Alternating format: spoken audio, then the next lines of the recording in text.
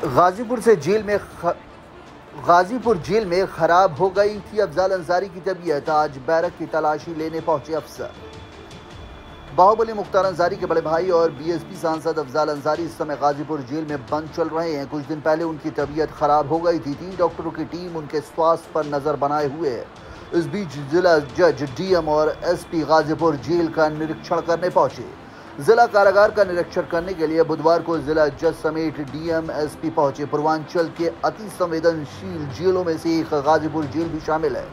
पूर्व में जेल के अंदर कई बड़ी घटनाएँ को अंजाम दिया जा चुका है। कई बार हिंसक झड़प भी हो चुकी है। माफिया डॉन मुख्तार अंसारी के बड़े भाई और पूर्व सांसद अफजाल अंसारी इसी जेल की बैरक नंबर 10 में बंद है। हालाँकि निरीक्षण के दौरान कोई आपत्तिजनक सामग्री नहीं बरामद हुई, लेकिन सुरक्षा के संबंधी कई महत्वपूर्ण दिशा निर्देश न्यायिक और प्रशासनिक अधिकारियों ने जेल के अफसरों और कर्मियों को दिया। बुधवार को जेल पहुँचे डीजे संजय कुमार समेत डीएम आर्या अखौरी और एसपी ओमवीर सिंह ने अपने मातहतों के साथ जेल का चप्पा चप्पा खंगाला। इस दौरान जेल के अंदर कोई आपत्तिजनक सामग्री नहीं मिली। बैरक की तलाशी में भी कुछ ऐसी सामग्री नहीं मिली, जिससे जेल की सुरक्षा व्यवस्था को खतरा पहुँच सके। इस दौरान महिला बैरक का भी निरीक्षण किया गया। निरीक्षक टीम में महिलाओं से जेल के अंदर मिलने वाली सुविधाओं के बारे में जानकारी ली गई। उसके जवाब में अधिकारी संतुष्ट नज़र आए।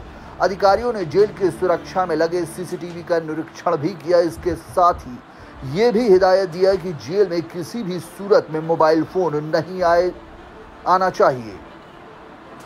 बैरक नंबर 10 में निरीक्षण करने भी पहुँचे अधिकारी। जेल में निरीक्षण की चल रही कार्रवाई के दौरान डीजे समेत डीएम और एसपी बैरक नंबर 10 में भी पहुँचे। यहाँ माफिया मुख्तार अंसारी के बड़े भाई।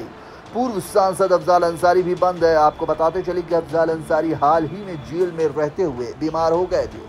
ऐसे में उनकी सेहत का खास तौर पर ध्यान रखा जा रहा है। इस दौरान डीजी और अन्य अधिकारियों ने पूर्व सांसद की सेहत के बारे में जानकारी ली।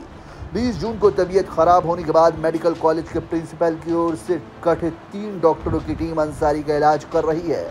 रविंद्र यादव, डिप्टी जेलर के मुताबिक निरीक्षण में सब कुछ ठीक ठाक पाया गया। जेल की सुरक्षा और अन्य कई मामलों में न्यायिक और प्रशासनिक अधिकारियों ने दिशा निर्देश प्राप्त हुआ, जिसका पालन किया जाएगा।